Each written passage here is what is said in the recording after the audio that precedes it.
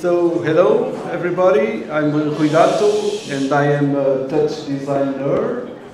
Nerd. Nerd. Uh, I got hooked in 2011. Uh, it's been, I don't know, maybe one hour and 55 minutes, so the last time I got a hit of Touch Designer, it was over there in the audience. I just grabbed my laptop and I did a little bit more of touch designing. So I'm uh, uh, very thankful to be hooked to such a positive thing, such an amazing thing that gives my ideas and my uh, expression uh, actually so many possibilities. So it's, it's a very big thank you to Derivative guys and Tim from the bottom of my heart and my mind and my soul. So thank you very much. Thank, thank you very much.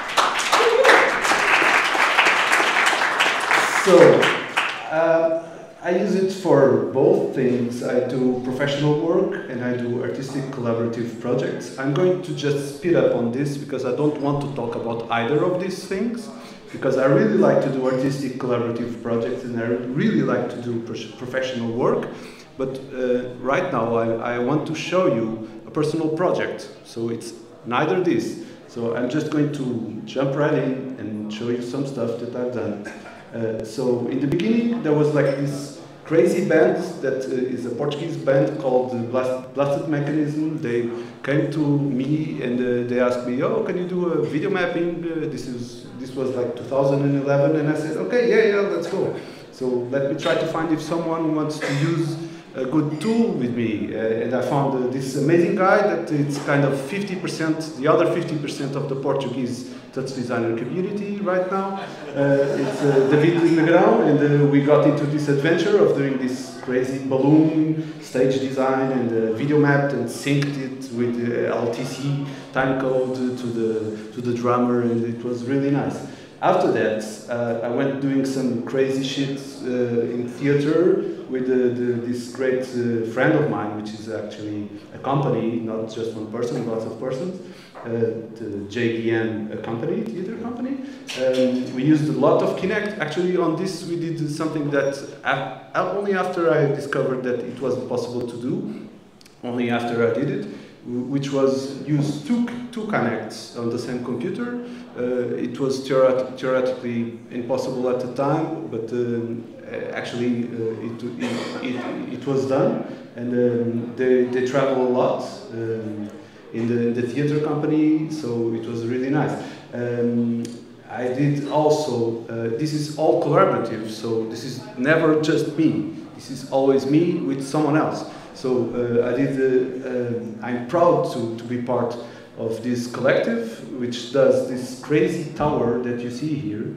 Um, it's, it's kind of a sound to light, video to light system that reacts to the, the main stage of the, the this festival. And um, we are like four, uh, actually five persons that we have, all, all of us have iPads and we act like a band, but it's a light band. So uh, we're called like the five watts. Um, so we do we do like this uh, this fun project uh, playing for the bands, but we play light.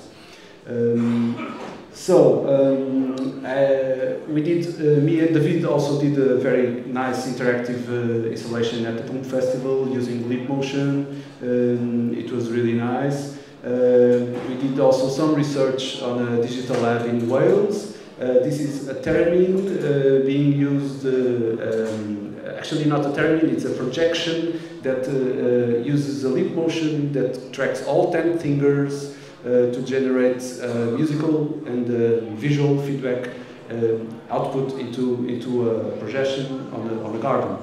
Um, this was a kind of a performative installation, not a generative, because uh, we were performers doing the, the sequence of the installation.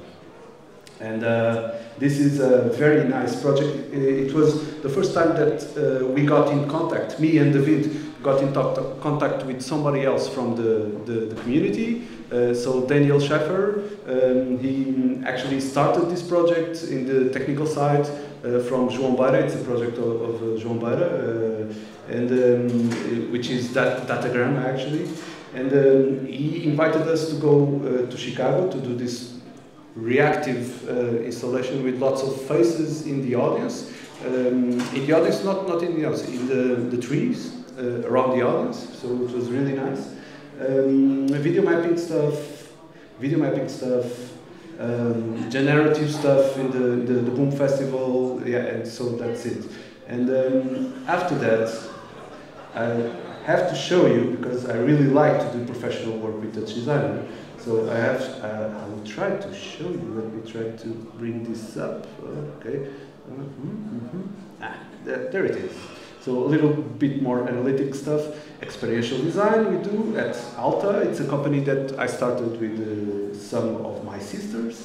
Uh, so actually the problem uh, of getting trust uh, on, on the company it's actually bypassed because they are my sisters so we trust each other and we do uh, other stuff that experiential design, but mainly the main focus is experiential design.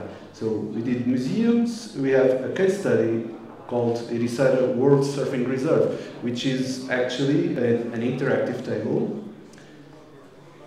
And uh, it works, ah, I think I reached the limit of, no, no, ah, there it is. So this is an interactive table that uh, works as an interpretation uh, tool for um, a museum, actually, not a museum, but an interpretation center for a surfing reserve. So this is a permanent installation. It's working, uh, it will be two years old in, the, in, I don't know, three months from now. And uh, we are very proud and everybody likes, likes, likes it very much, so it's been working really well. Uh, we actually added to that space a, a Kinect Media Gallery, um, so yeah, blah blah blah. Kinect Media Gallery. It works for all sizes of persons. Uh, we kind of that was the main problem uh, that we uh, reached by uh, researching this, and uh, it works for kids and for big persons. So uh, it kind of needs more research, but it's working also. We also did the storefront installations. Actually, this was first before of that with Kinect. Kinect.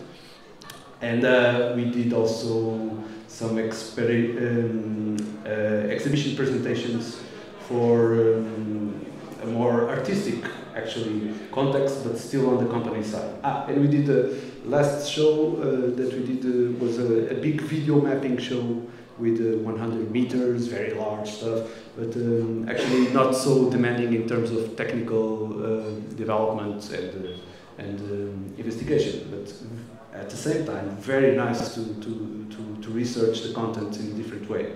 So that's it. That's the, the work. Now we can go for the thing that I'm actually eager to show you. So let's start by, maybe I'll start by, by talking to you guys first a little bit, and then I show you a small snippet of video, and then I do uh, kind of a a visit to the network, and then I'll do a demonstration. I'll try to do this quick. So, um, what I'm here to talk about to you is about music being generated by geometry and not the opposite. So normally um, I tend to, to, to, find projects that um, are used to visualize music that's being composed uh, with Ableton Live or Logic or whatever, and then you get the output um, of the music by somehow MIDI, OSC, whatever, and then you just visualize it. Um, actually, it's the opposite. Uh, what I, I, I, try to show you, I, will try to show you uh, basic, uh, not basic, but kind of uh, very, uh, how, how, how, can, how can I put it? um, yeah, very universal forms of geometry, so not too much complicated, very observable in nature, uh, some forms that we are very used to, so regular polygons, stuff like that. And uh, I, I, just, the research is about how can I extract music from the geometry um, in a very simple way, um, and in a way that can be useful uh, to research, but at the same time, in, in a way that is interesting per se. Uh, as, a, as geometry. So Um, let me just show you a bit uh, of a video of the early stage of this development. So uh, I began this, this uh, research two years ago, and uh, after, I don't know, maybe three months, I did an output of the early research, which was a chill out set at the Boom Festival. Uh, so, I've been sleeping. Uh, okay, no problem. Um, so, um, I did a one hour chill out set based on the, the geometry engine. It was still in the beginning, but um, I will show you a little bit of that. Ah, and uh, I will, to do that, I will use uh, a video player made in Dutch. Not Greg's video player, actually mine video player. okay, uh, so it's a bit simpler, but I think it works. Let me just check for volume first. This, ah, okay, F keys, cool. There you go.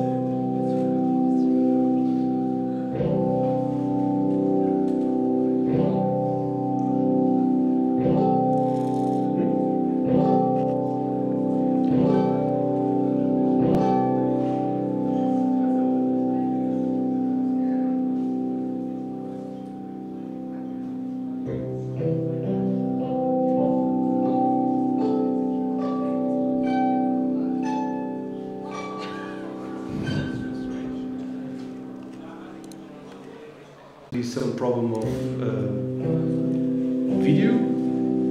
Maybe I'll show you just like this. Yeah.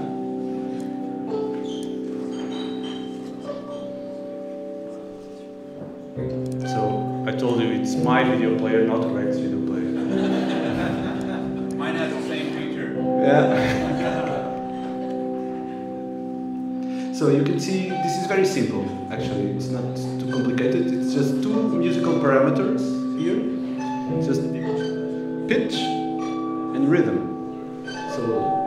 Not yet on duration, either duration or uh, timbre or modulation, just two parameters.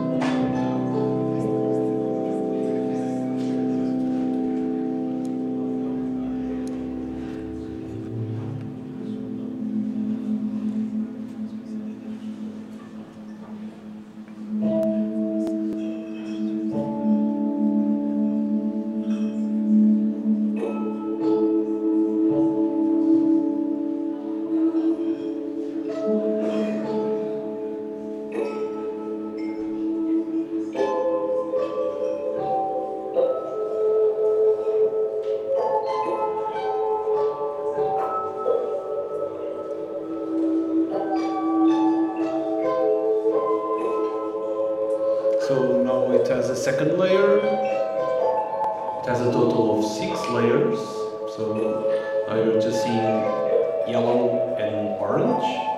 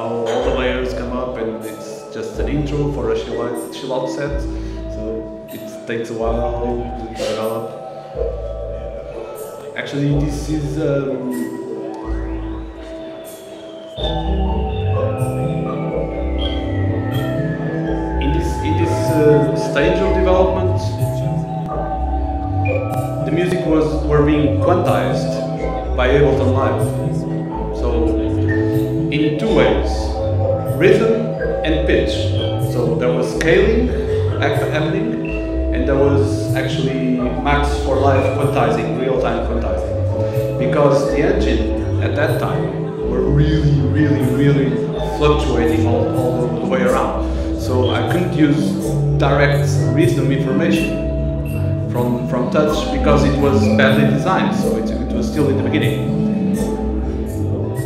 So this is kind of fake uh, rhythm because it's being quantized actually real time, but not in touch time.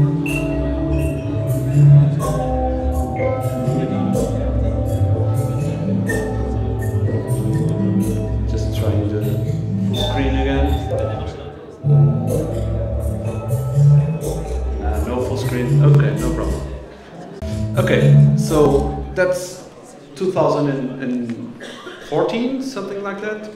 Um, now, uh, nowadays, it's different, the, the current stage. So I'm going to try to just show you how is the schematics of, of that um, uh, of that engine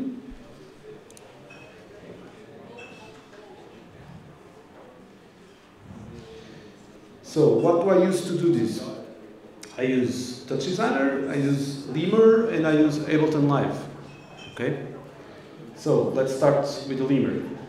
So what's the task of the Lemur? It's user interface. So I use the Lemur because I'm very used to it. It was the first uh, multi-touch uh, thing that I ever used, even before iPads and stuff like that. It was 2005, so I was kind of, whoa, what's this? I can use all 10 fingers, I'm a lemur, nice. So I just uh, went for it and I got the, the hardware and I fell in love with the software actually. So I used the, the, the software, not the, the, hardware nowadays, but uh, I, I, kept using it because uh, I think it's really nice. So, um, and then uh, the lemur, it's working bidirectionally. So uh, it sends OSC to Ableton, and Ableton has the task to do clock generation, it has the task to, to, to serve as a sequencer, and it has a sequencer and, and uh, not a MIDI note sequencer, it's a sequencer of just parameters, uh, and uh, it has a task to generate sound. Um, and then we have like the main part of it, which is the process I call TD render, um, that uh, has the task of generate the geometry, do the video rendering, and uh, it runs at 6 FPS, which is important to know, uh, not right now, I will explain you later why. And then there is a different process called TD generator, which is uh, responsible for the generation of the MIDI notes. And it runs at 480 FPS. Um, and that's uh, the main uh, thing that um, actually makes the difference nowadays between the engine that I'm going to demonstrate here and the first one. So um, I spent like one year maybe uh, in my spare time try to optimize uh, and try to reach a very stable clock so I can uh, bypass the, the quantization that I was using in Max for Live and just do pure touch design rhythm. Because it's much more flexible to when, when you are a, a touch designer um, you, you, you know that all the power that you have in your mind have to not have to be. You can use you can go back to Max for Live or whatever to that you you, you find more uh, specifically uh, um, able to do the, the, the test that you want. But normally you tend to okay let's see how can I do this in touch design so uh, I found out that um, after a painstaking process, I was kind of uh, isolating parts of the network until I reached uh, actually a uh, uh, conclusion, which was, okay, I just need to have the MIDI generation part isolated, not rendering, just doing uh, high frame rate process, and I get stable, stable output, and, and so it is. So this is kind of the schematics uh, of it. So the lemur receives OSC from uh, from um, touch designer render um, just for well actually I'm, not going to, to, to, to, to show you all the this um, this schematic stuff I'm, I'm just going to show you the network which is much easier to, to demonstrate so I'm going to bring up Ableton and two touch designer process and the lemur. I'm just trying to mirror the lemur back. Okay. Uh, checking for latency. Okay. So this is simple network, not not uh, too much complicated. I start with the render. So we have like OSC in that's receiving OSC from the lemur. Uh, actually from Ableton, not, not from the lemur. I can show you guys how that OSC works. Uh, Ableton is still, yeah, it's still loading. Okay, it takes a while, it's the beta version also. Ah, there it is. So actually it's Max for Live. Um, that's generating the OSC. So um, here we have like six layers. All of them are the same, so we can just study one of them. And uh, we have like a bunch of parameters um, that got um, sequenced uh, as clips, uh, but the clips don't have any MIDI. Uh, they only have like parameters for the geometry, and that gets um, these knobs going, and these knobs get piped in via OSC to here.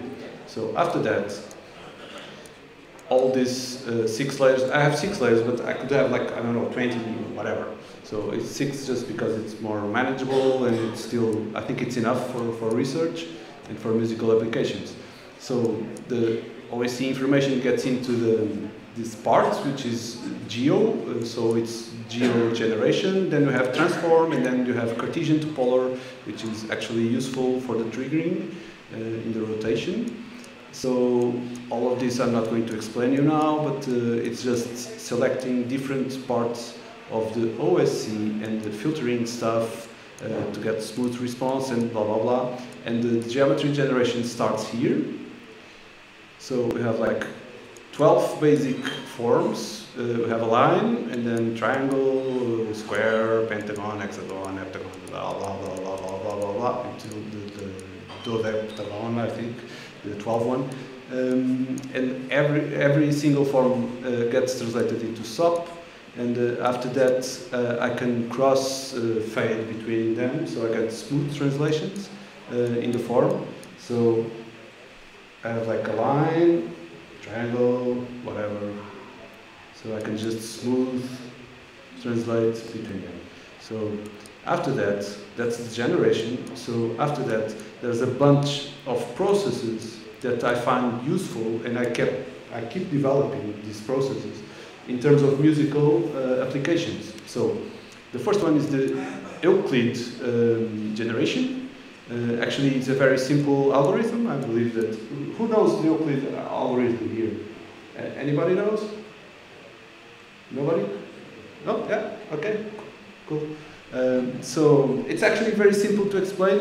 Uh, you have like a bunch of possibilities uh, and uh, a bunch of triggers that you want to fit on those possibilities, and you just uh, uh, get a response of the most um, homogeneous um, um, distribution for those possibilities.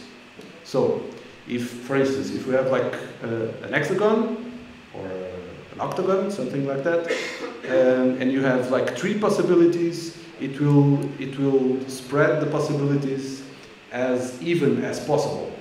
So it's easier to explain with an hexagon, so this is very fairly uh, straightforward. So one trigger, another don't trigger, another trigger, another don't trigger, and so on. So this is highly interesting in terms of musical applications because um, most of the rhythms in the world are made using the Euclidean algorithm, even so that people don't know that.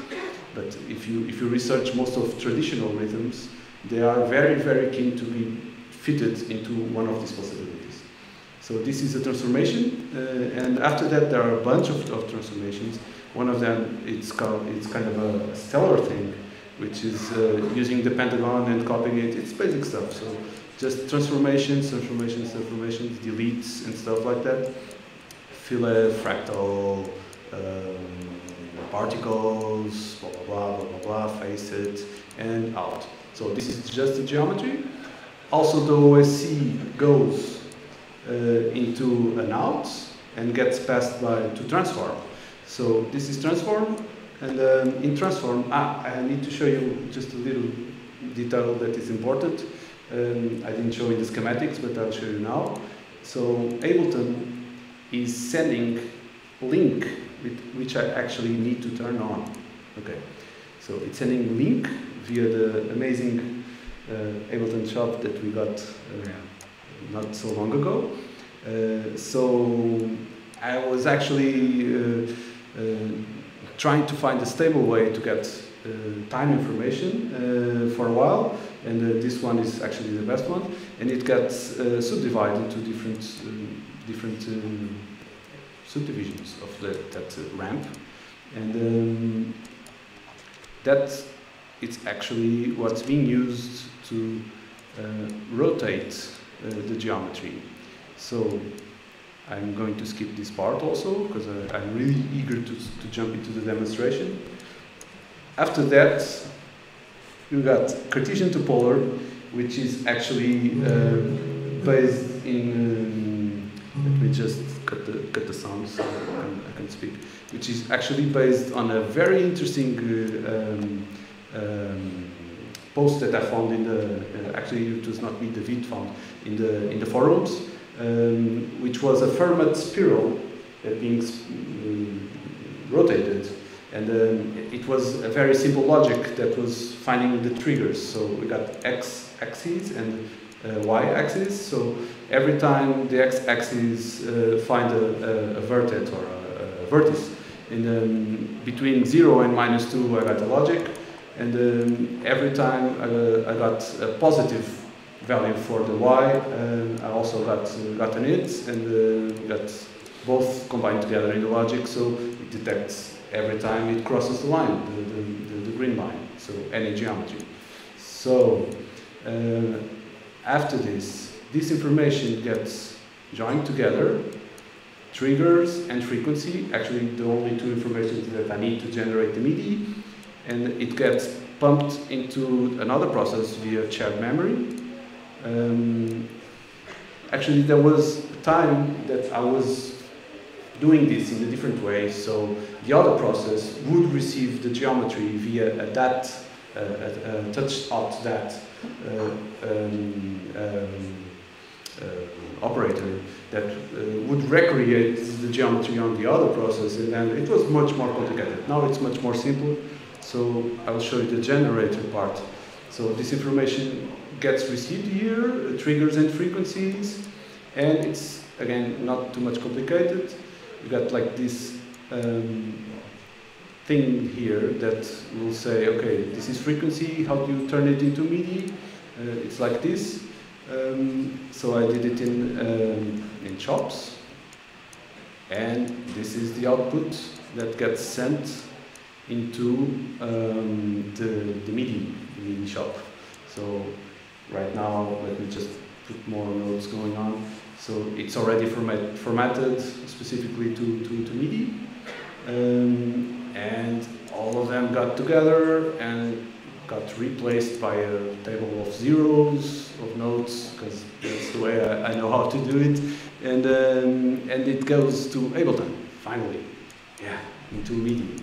So, um, that's for musical notes, for visualization.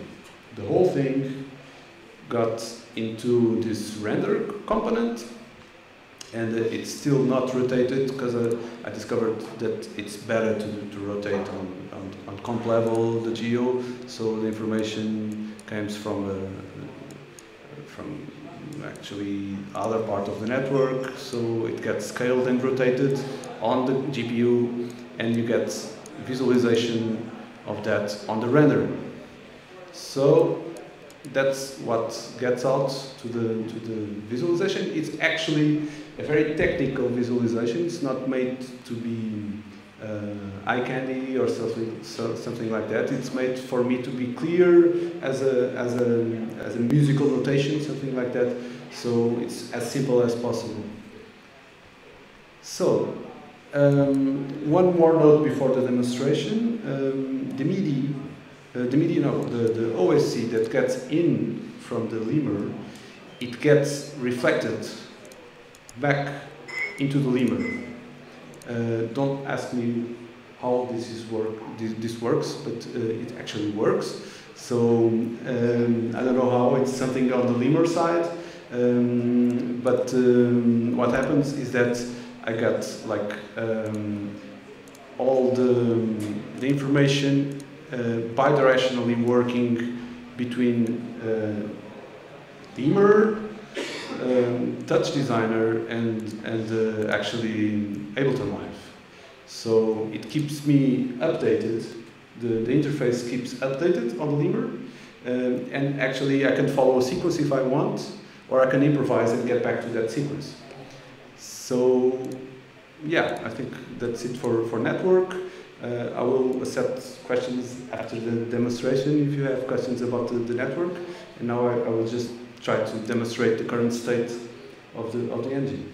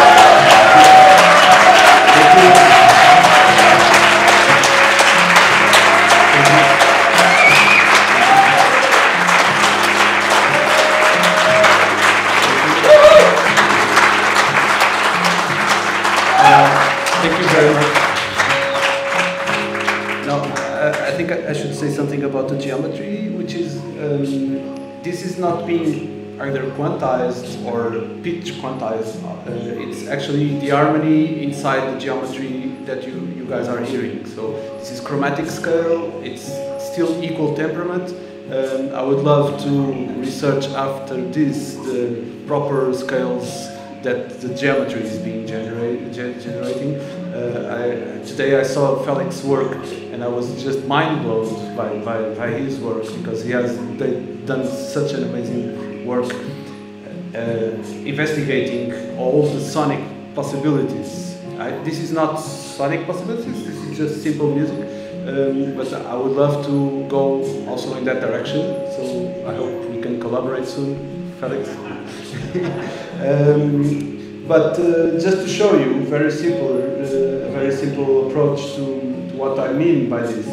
Um, so using right now, I'm, I'm using uh, on the yellow layer this um, uh, pentagon, right?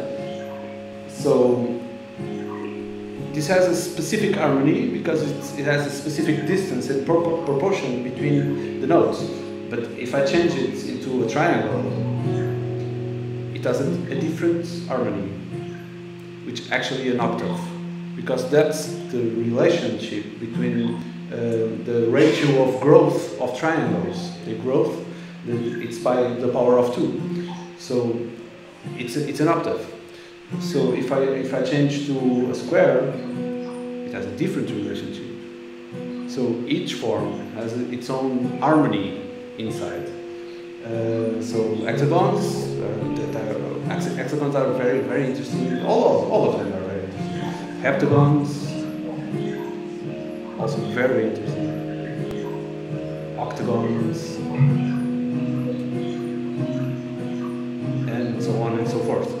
Um, so, uh, I'm just going to, to show you some some of the forms that this is still not, actually not not it's not a concert it's just research material so it's, it's not arranged as music. Um, but uh, so hepta, heptagon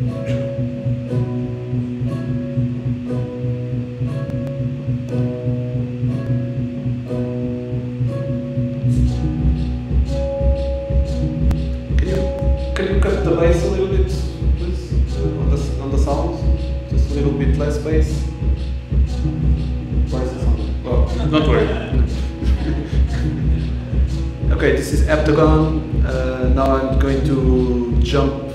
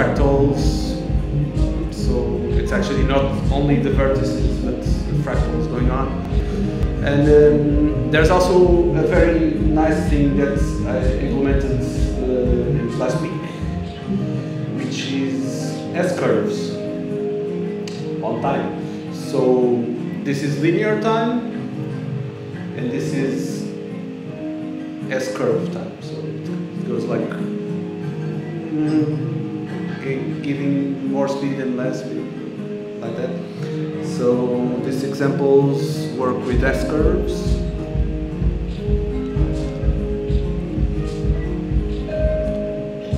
Square again.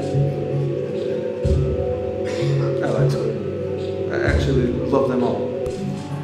They're all very interesting. Uh, S curve again. So dynamics. Hexagon again.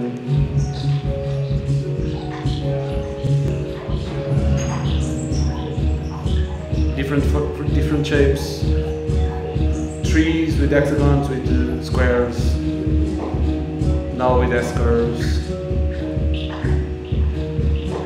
And strange mix, sounding a little bit weird.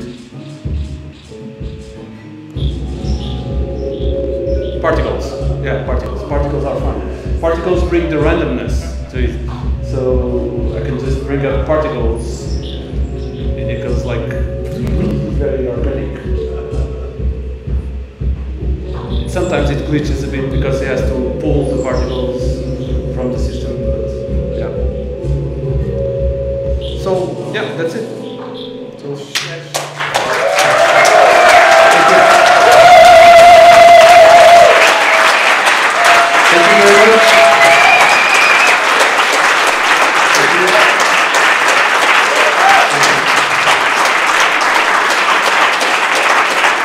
So I'm questions. If I- we have time for any questions, so go ahead. Have you looked at the, these relationships between the lens? Like, if you want to have a like a minor seven chord, what is the shape and what is what? Yeah, wow, that's the opposite direction of research. But uh, actually, it should be interesting. I to- mean, it's like this is a music notation basically. Yeah, well, uh, I'm just extracting. I'm not doing the music. The, the geometry is doing the music, right? So I actually composing the geometry and then see what what I can find. Uh, do you know the, the software IanniX? Helix, Yes. Helix. I've. I've heard of it. Yes. Yes, it's a, it's a the software. It produces only OSC, but Ah. you draw line, and also there is some event between curves. So it's very different. It not produce himself music. Perhaps you- it, it also rotates. yes, it's coming from the idea of Xenakis, Ah, yes, yes, yes, yes, musician, yes, yes. which we work mainly with mathematics. Mhm. And I think it can be interested. I will The, the people making IanniX can be interested to have relation with you. Mm, because thank you. it's- Uh, any more questions? Yeah, well, I don't have a question, but uh, you blew my mind. Oh, thank That you. fantastic. I'm glad. I'm glad to learn that. uh, Mari? Sorry.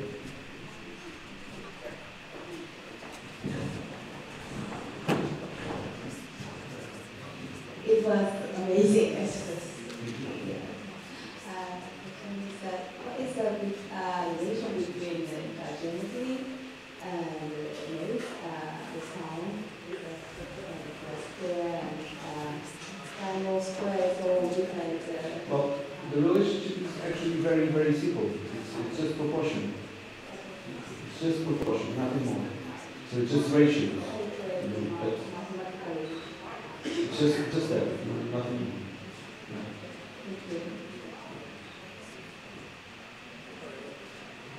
Yeah, go ahead.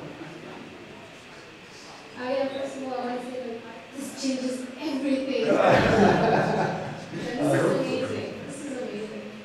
But um, I wanted to ask, uh, so the Meridian is something that you use on your iPad, right? Mhm. The lemur, yeah. The Libra. Yeah. Yeah. Is it? Is there like any other substitutes? Well, yes, of course. Yes.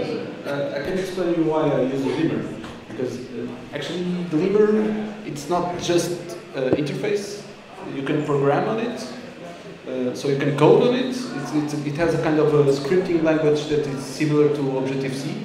Uh, so lots of the things that I still do on the lemur are done uh, here. The, the code is here, and then it's passed uh, with parameters to Touch Designer. I actually I do that because I'm very used to the lemur, and sometimes it's easier for me to program those stuff uh, lemur. I will tend to do the, that kind of stuff in Touch Designer because again more flexible, more possibilities, more everything.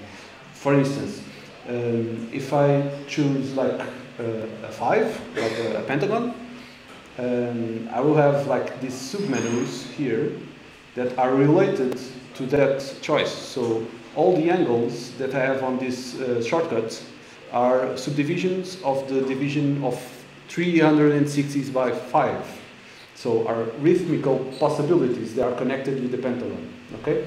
So if I change to 6, uh, I will have different angles. So all of this is, is coded uh, in the lemur, not actually in the in the in the touch designer side. Um, but uh, yeah, that's why I use the, the. It's very very very more powerful than than the other ones. Yeah, the, the touch designer, the touch OSC and, and stuff like that. Go ahead. Um,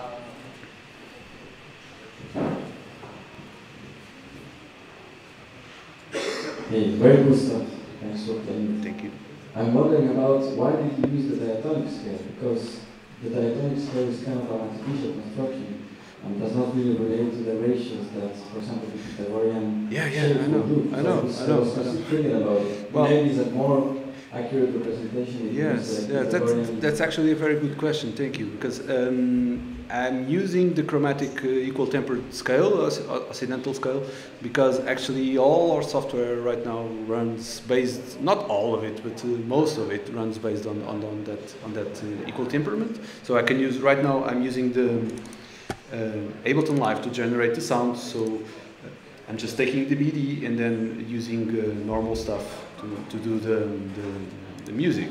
Uh, this is not what I want to do in terms of um, sonic exploration, mainly because of that. Maybe because, because of what you just said. Because the internal frequency uh, relationships between the sounds is much more interesting if it is extracted from the geometry and it's not stick to a grid, which is actually what's happening on current Occ- Occidental music. Most of, of not only of, uh, Indian music al- always have uh, also have more um, precise uh, grids and more different grids, but it's also a grid. So in terms of maybe a more Pythagorean approach uh, of harmonics, I think I will start there, uh, do my research, uh, try to, to think more in mathematical terms, in terms of frequencies, and then I, will, I will see what, what happens. Mainly, I think scales and, and chromatic uh, temperaments and, and stuff like that are useful so mus- musicians can play together, you know? But yeah, it, uh, Yeah, I was thinking that this could be really a great tool, for example, for string machines, because they have Mm. naturally the Pythagorean possibility. Yes. Yes, yes, yes. Actually, string, the string, the string analogy is actually the, the one that I, I want to start with. Yes. Thank you. Any more questions? No. I, okay. I missed uh, the reason why you had to run the one application at 480 frames per second. Yeah, yeah. yeah. Uh, so uh, I found out that uh, well, maybe this is lack of techno- um, technological um, uh, knowledge for me, um, but uh, experimenting uh, with the with the networks, I found out that if I run at 480 uh, frames per second, these objects it's much more stable uh, in the output. I don't know why. Uh, I think it's probably I don't know related to I don't know something that fluctuates uh, in the in the process, and it's, if it fluctuates really quickly, it will not deviate so much in the time. It still deviates a bit, but uh, well, actually, uh, I think it's okay right now for me. So I stabilized here at 480. But um, one of the things that I would love to actually, I promised myself that I would stop uh, trying to perfect the engine and I will go into development again to new features and to sound and stuff like that. But I'm always itching about one thing, and I'm glad that you, you are asking because, because I think it's it's uh, something that you might help me. I don't know. Um, yeah, yeah, definitely, yeah. So yeah, support call. Um, so which is right now to do the logic. Um, let me just put a different sound because this one is a bit scary. Okay, so right now the logic um, it's running uh, at uh, 480 samples per second. Both of the logic operators that do the detection of this this uh, triggers. Okay, so right now, every every time crosses uh, each time it crosses zero in between zero and minus two. I got a trigger, and every time that happens in the upper quadrant, that trigger is, is validated. But what happens is if I put the window, for instance, 0.5, uh, that's the X window, right? I lose resolution and I don't know how to solve this. I need help. so uh, I just lose the triggering, you know, and and that's just because the the, the, logic has a different, uh, smaller window. So please help me with that. Hello. okay. Any more? Any more questions? No. Okay. So thank you. Thank you very much.